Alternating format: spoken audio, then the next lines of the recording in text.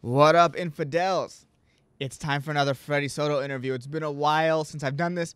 Um, for those of you who are new to the podcast, uh, five years ago, I did five interviews about uh, a great deceased comedian named Freddy Soto, just trying to get to know more about him. Um, and if you go through my previous episodes, you'll see I have the Freddy Soto interviews. If you're on my YouTube, they're on their own separate sort of, uh, not channel, but category in my channel, playlist in my channel, the Freddy Soto interviews. So check it out. Um, this is the fourth in a series of five, and this one wi- is with comedian Bobby Lee. Um, you may know him from Mad TV. He's one of my favorite comedians at the Comedy Store. Um, and yeah, his inter- his relationship with Freddy was really interesting, and he goes into that here in this episode. So enjoy, guys. Again, this was recorded five years ago with no video, so if you're watching on YouTube, you'll get a still screen. But uh, yeah, this is the Freddy Soto interview with Bobby Lee. Where do I go anywhere? Anyway, We got. Can you close the door though? I need. I need privacy.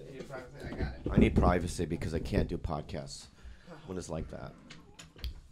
All right. All right. So, um, what is your obsession with Freddy Soto? Um, so I saw him when I was in middle school. I saw his Comedy Central presents, Yeah.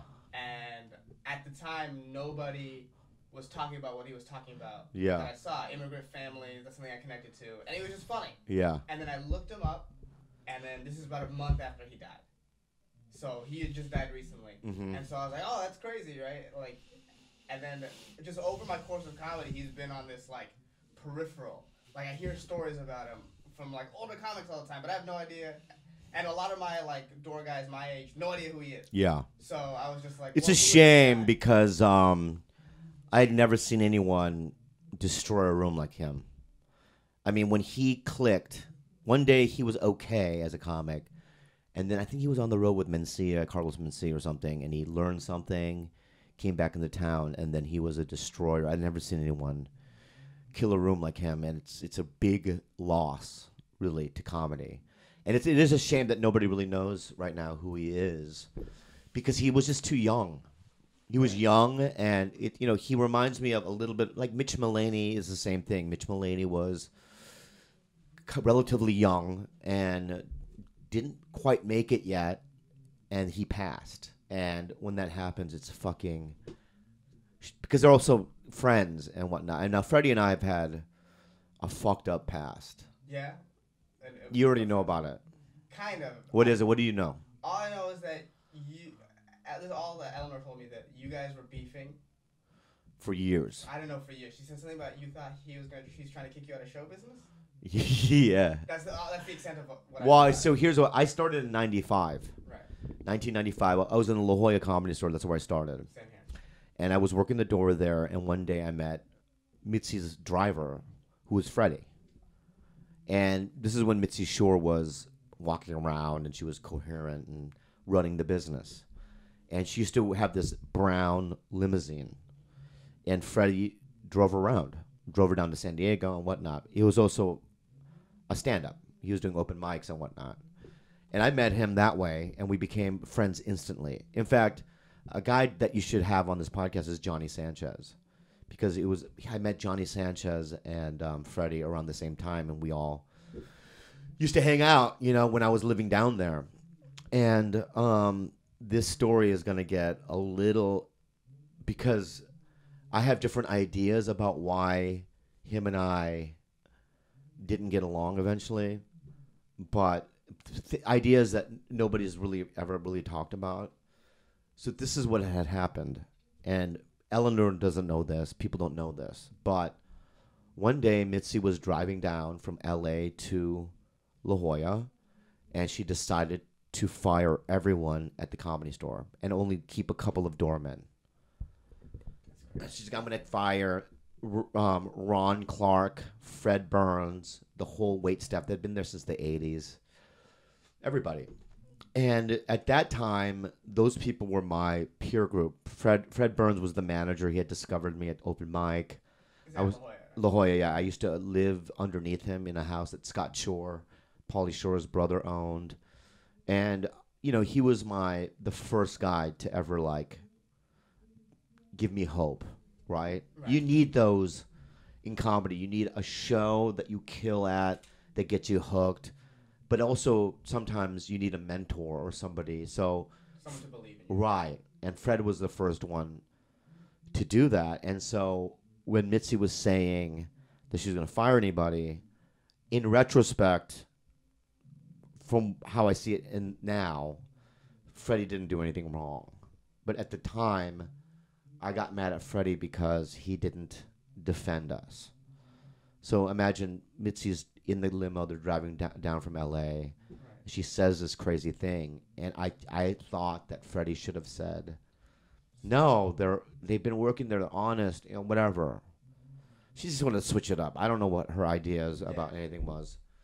And so when Fred that night, because she stayed at the condo, she had her own condo by the condo that the comic stand, and me and Freddy were in the condo one three and four in the morning, and we got in a fight because I said you should have defended us, and he goes, "You don't know Mitzi, you don't know what she's like," and that and that was the fight, and ever since then, we never were the same.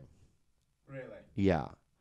So then when I first then when I moved moved to LA, there was real conflict. Like imagine he's already up here, he's a regular, this and that. I'm a fucking doorman. And he, you know, he made it a little difficult for me. Um you know, one time he was in the main room and he said get you know, get him out of the room in front of the audience. Really? Yeah, called me out in front of the audience, and it really hurt me. Um, like I said, I, I should have handled that situation differently, you know, in the past, but you know, I did what I did, and I, I'm also um, I'm a I, I cause a lot of conflicts. I mean, I've been known to like help people, but I've also been known to like. There's just been these little wars that I, I start with my big mouth. I think. It's it's a character defect that I. I wish I could change about myself. You know Yeah. and so him and I were not good. Eh, But I, you, what what would happen is I would go and sneak into rooms to watch him perform. So even in that time, you were able to separate like your ill feelings to him towards like, oh, I gotta watch him as a. I had no ill feelings toward him. Okay. I, I thought he was the shit. I really did. I thought he was the next guy up. Another thing that I did, which is a fucking a newcomer mistake, is he had gotten Friday night videos. It's some sort of back then that was the thing to get on as a young comedian. It was on NBC late Friday night. okay. And he came up to me. This is before the fight, and he said, "I think this is what started a little bit of the conflict." Was he goes, "Oh, I just got Friday night videos." Instead of saying congratulations, I said, "How'd you get that?" I want that. You know that whole thing. Yeah. And what I should have said was, "What the fuck? What the fuck just happened? That's. All right. Oh my god, is Freddy here?" That would be insane. Oh, is there someone in here? Yeah, I just saw the manager what pop in. Oh my god. Do you under? Do you have? No, he came. He knows that we're in here now. Okay. I literally thought that was the ghost of Freddy. I mean, I wouldn't be surprised knowing this place. That's what it felt like. It felt. He like, was the best. I'd suck his dick. no, I mean he. So, so I came up here. I would sneak into rooms and to watch him because he would. I've never seen anyone just annihilate a room. off jokes alone or what? No, just just his style? jokes. His he was just so real in the way he did his, especially his family material, mm-hmm. that it was just and no one had really seen that. Right. So he just obliterated every night, and it was so fun to watch.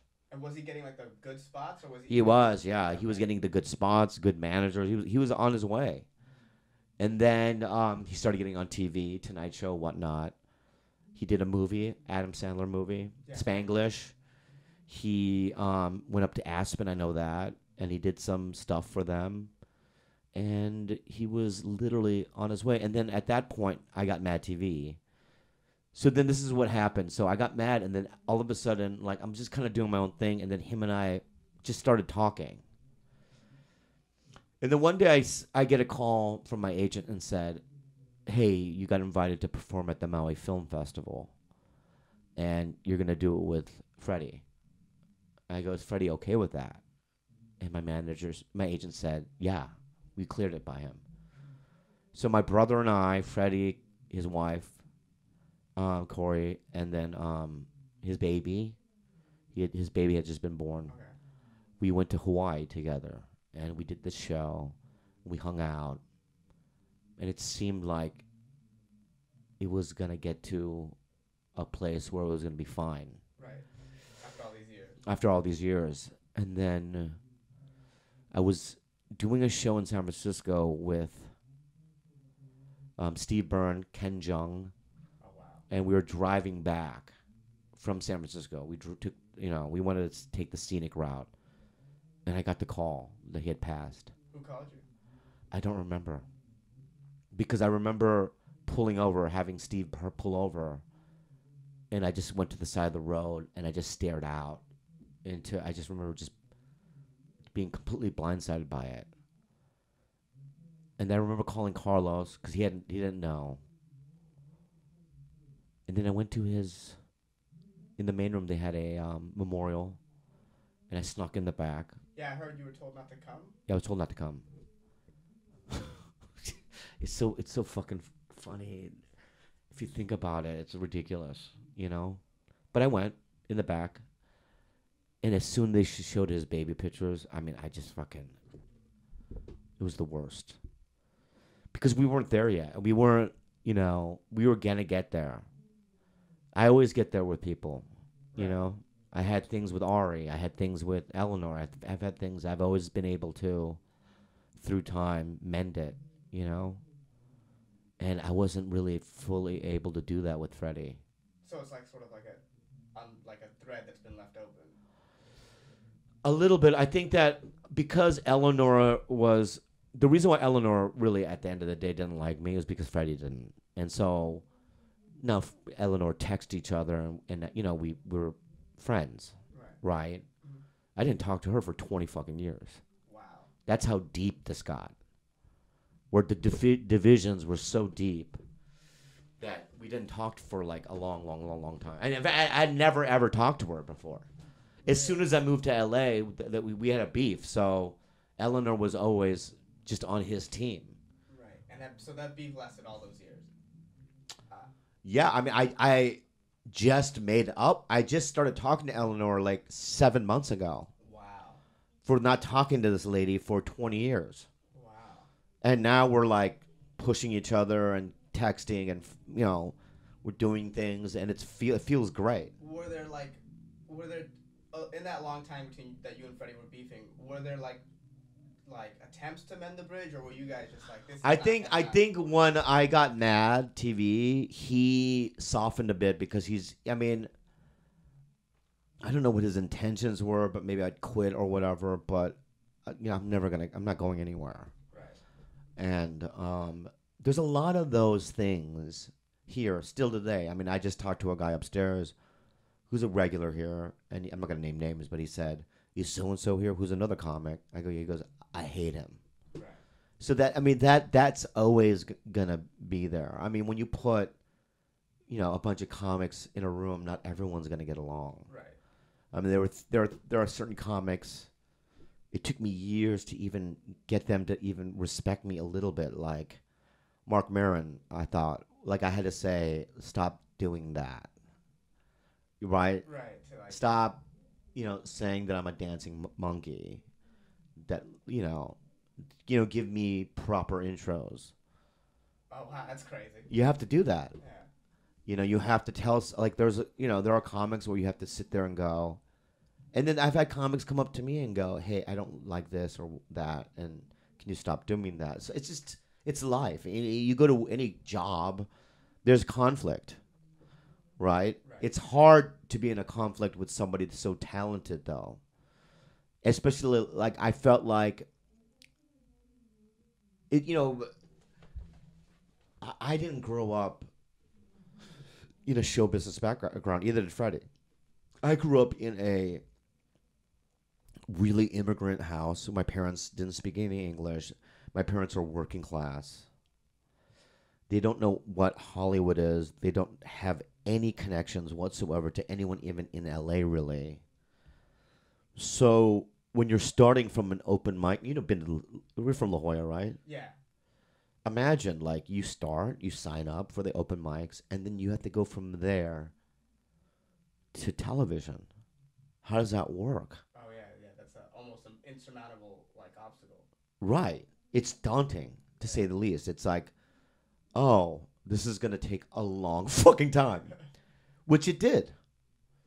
But anyone listening, you just can't quit.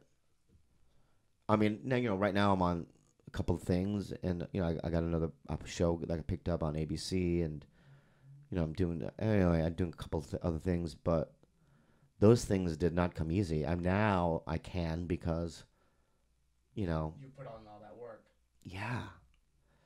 And the, the thing with Freddy is is that he should have been like Chappelle level. I really oh yeah. Really, you put that on him. He's he was really here's the thing though is is that he can embody like he should have been on a sketch show. Like when Johnny Sanchez I met with him and Freddy Freddy had passed and then when when Mad TV was looking for a Hispanic guy, I mean the next guy in line was Johnny. I got him on the show. I mean, I helped him audition. We walked through that whole process. He got the show. Freddy could have done that. You know, Freddy could have done a lot of things. And um yeah, I'm, here's the th- here's another thing. I don't want to get in trouble because I don't want to I have to word it. Right, and the, Hold on, hold on. I don't know how he died, really. I know that he fell asleep Mhm. at a friend's house on a couch, right? And his heart stopped. Yeah. Well, yeah. Wikipedia has a certain like a cocktail of things that he took. Right. Yeah. I mean, my what I t- was told, what what I is Ambien and cocaine. Um, I know cocaine wasn't a part of it. That was sort of an urban legend that had sort of popped up around the scene that it was cocaine. But Uh huh. Wikipedia's, from what I got from Wikipedia, and Eleanor says it wasn't cocaine either, But from what I got from Wikipedia was fentanyl, Yeah. alcohol, and a Xanax. Xanax. Okay. Yeah. and then his heart stop, Because the thing is, the thing is, is that Freddy and I, um, we both struggled with that. You know, I know that he was sober for a long time. When I met him, he was sober, and I was sober. I mean, twelve stepping it. Okay. I have fifteen years now, Okay. right? So, yeah, I've always been in and out of that thing, you know. And um, I just wish that maybe we had a better relationship because then maybe at that time, I don't know, man. There's nothing I can do about it, but you know, I just wish that I would have been able to say, "Hey, man, stop." You know, I mean, like you're you have a baby. You know, I don't know how hard he's been was partying.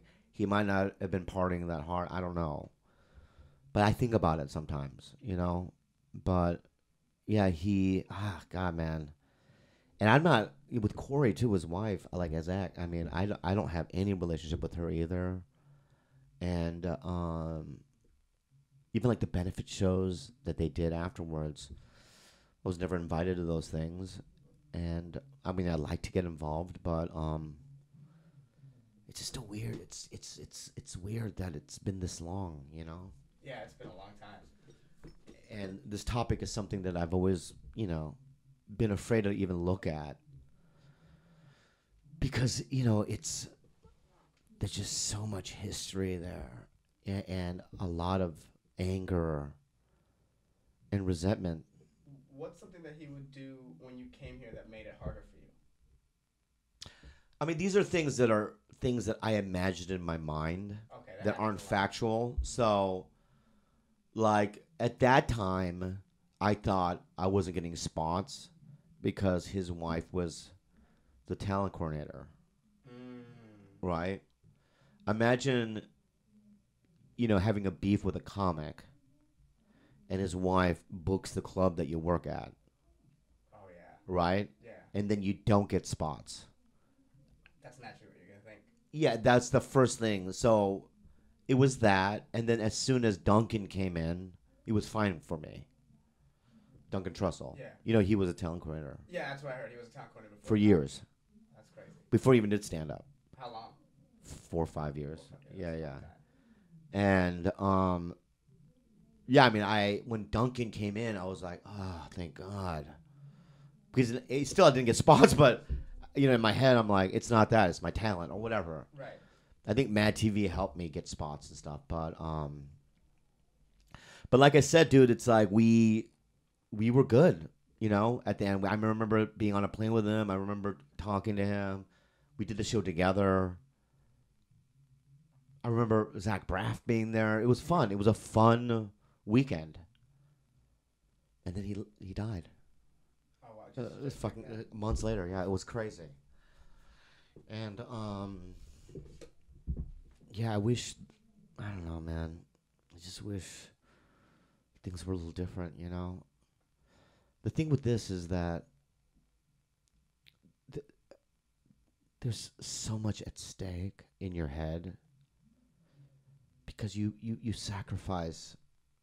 You put all, I put all my eggs in this basket. Right. I don't believe in, you know, fall back. I have a degree. I can uh, manage a hotel if this doesn't work out. I didn't have that. No, it was all or nothing. Yeah, and I believe that it uh, should always be like that. I'd rather die poor than give it up. It's really weird. Well, that makes sense.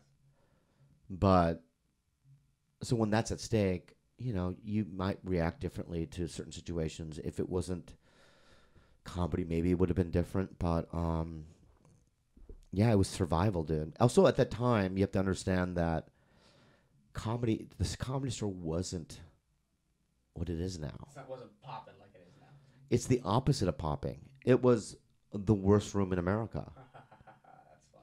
It really was. It's like you couldn't get anyone in here. Yeah, and the room itself is hard on top of that. it's a hard enough as it is, yeah. And then you would show up and get a spot and not go up, no matter what time it is, because you had like six dudes with heavy credits that would bump you, Yeah. and they could just, you know, if you had fame in this club, you could just go, "I'm next." And you can go on for as long as you want. Yes, that doesn't exist anymore. No. I mean, I know big names that can't even get on, Yeah, that's uh, which is great. Famous people have trouble getting in. Yeah. That's So, but back then, if you had a name and you were from the store, but if you had no credits, good fucking luck, man.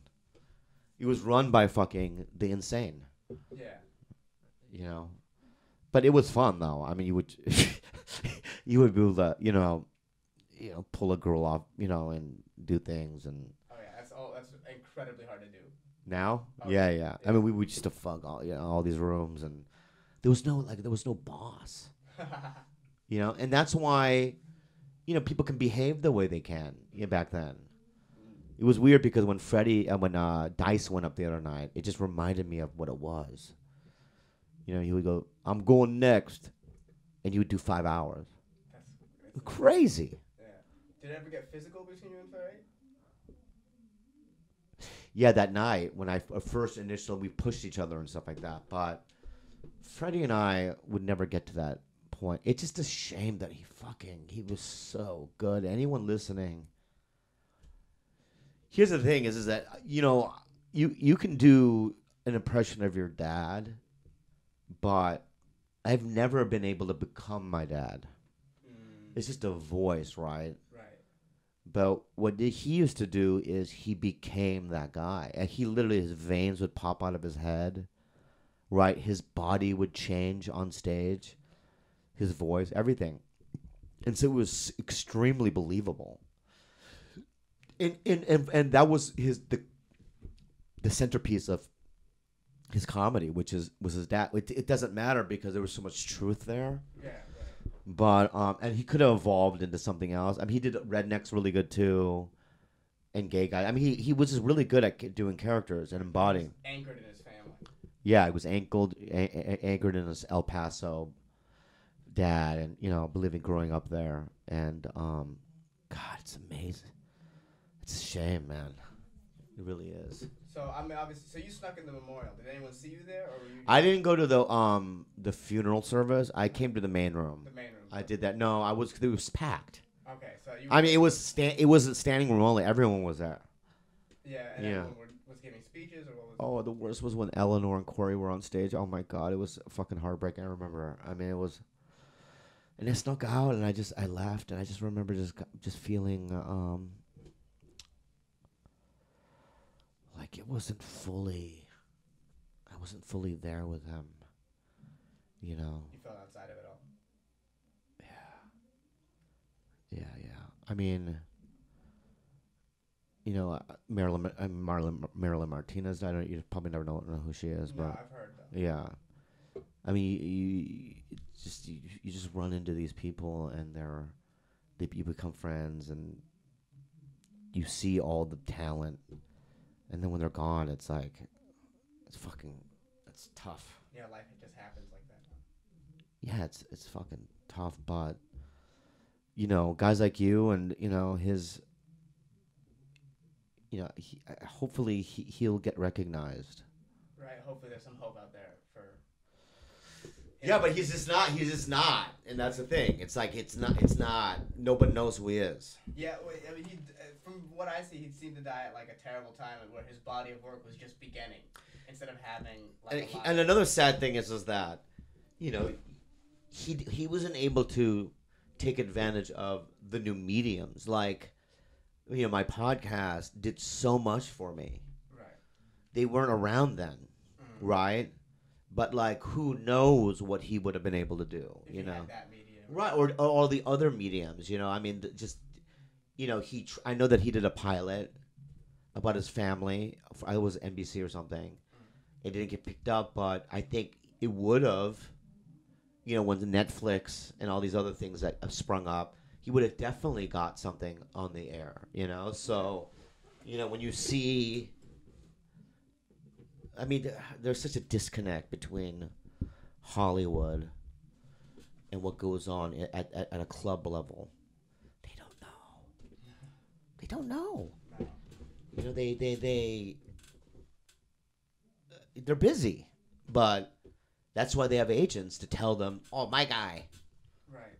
But if you were just go to the clubs, you could see. you could see, but then that's one factor, and a lot of it is looks and youth, and that's all other bullshit, you know. But um, but Freddy would have just didn't take advantage of this, you know. It's it's a shame, you know. But um, I, what about you? Did Dorman? They don't know him. Uh, no, not really. Not my. When I ask people like because I just started asking random people, "Hey, what do you know about Freddy San- uh, Freddy Soto?" And the only thing that they'll ever say is, "Uh, I heard Mencia stole from him." That's the only thing they ever really know about him. I mean, you know, I I'm not I'm not here to defend Mencia. Right. But the thing that Mencia, the one good thing he did was, he, you know, uh, that's where I started. Right. Freddy and I started under the Carlos Mencia camp, where we went on the road with him and yeah, I mean, it, it, does he steal? I mean, those are things that we've people have talked about over the years, and oh, yeah, yeah. and he does. You know, I mean, I'm not going to state the obvious, mm-hmm. but the one good thing that he did do was he he took guys that were he thought were good, you know, and he and Freddy definitely got better by opening for him. Right. Um, did Carlos steal from him? I don't know what bits. I'm sure he did. But that is the one good thing because I remember one day Freddy was okay. He did a weekend with N- Ned Carlos, and then he was a completely different guy.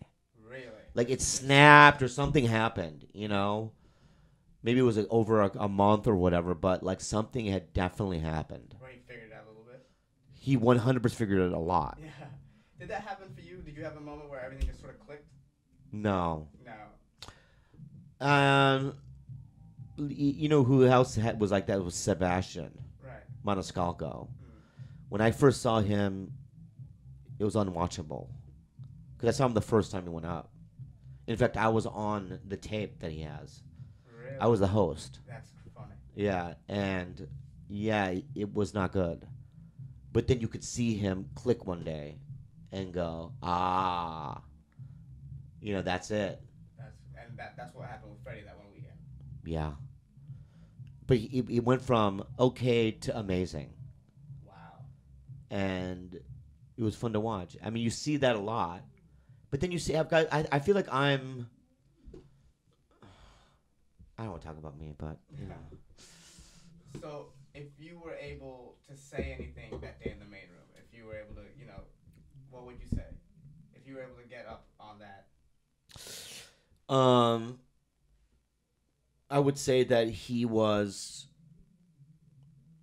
a gigantic influence on me because a little bit of the competitiveness did a lot for me. It made me bitter a little bit, and it made me like aggravated, but also made me motivated.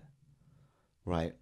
So whatever was going on with my head, so in many ways he challenged me in that way, because I I'm still, honestly, I mean I can crush, and I'm I can do, kill right, but I'm still I don't think that I'm I'm there as as where he was. Really? Yeah, I don't. Because he had something that was like there's something intrinsically funny about him, you know, that he had found as you know, can I act? I can. Can I do panel shows? I can. Can I do stand? I can do everything, but I, you know, to to see that kind of obliter to obliterate an audience like that, I don't think I've ever done that. Really? And he was doing it on a consistent basis. Yeah. Wow. Yeah, but who knows? Maybe I I don't know. I can't see, you know. But yeah, that's how I feel. And you know, he is a hu- he he's also when you're from San Diego and you see a guy like a friend of yours get on TV and I saw him on TV. I was like it's possible. It feels real. You're like, oh, I'm in the right place. I don't know, but it's possible. You go, oh, th- you can get on TV. You can be in movies. When you see guys do it, have you ever been there? No, not yet. Most No one, no one that you know. Yeah, we're still on the. I'm still. You know, I've only been doing this for like four years, so we're still on the young end of Yeah. me and my crew. You know. Who's your crew? Stephen Fury. Um, we started door guying together. Um, the people I like hang out with most are uh, the Derek, who's the guy in the lot right now, and Mhm. Trey Stewart. We're roommates. Ah, I like Trey. Yeah, Trey's great. And then uh, there's this girl named Taylor Tomlinson. She like hosts labs. Uh-huh. Tho- That's like my crew from. And Brian Simpson. He used to be a door guy here. That's like my crew from San Diego. From San Diego. Yeah, When you started there, um, you worked there. I worked there for a year. Uh, What was that like? Um, it was nothing like this. It was a lot of. Uh, I don't think the management really likes comedy that much down there. They're not like big comedy fans. Um, so it's it's a it's a tough place to work. Yeah. Yeah, it's not as fun as here. Yeah, uh, yeah. When I I was lucky because when I started there, it was run by comics. Mm. Like Fred Burns was a comic. Oh, okay, that's. And we had this thing. The reason why, do can you do this in La Jolla, where if you work the door on Friday and Saturday, you get to go up? Uh, they have one guy cold open. Yeah, on Friday, Saturday. So one guy. Uh, yeah, it's usually so. There's four shows, so there'll usually be two or three guys that open. Right. So that's what we had. We had. I worked Saturday nights. Me and Stan Simmons worked the door. He could either close the first one or second one. I mean, open the first one or second one. That's how I met Carlos, and that's how I met Paulie and everybody. Was that opportunity? You need that opportunity. Oh, that's how I got this job here because everyone knew me from opening for them. Right. Mhm. Cool. Yeah. That's the comedy store is the best at that, and it's like we can never lose that Right. about this club. Yes, that's, that's why this is the best club. Yeah. Anyway, rest in peace, Freddy. I love you, and um, it's a shame. You know, is that enough, or Yeah, that's enough. are you sure? Oh yeah, 100%.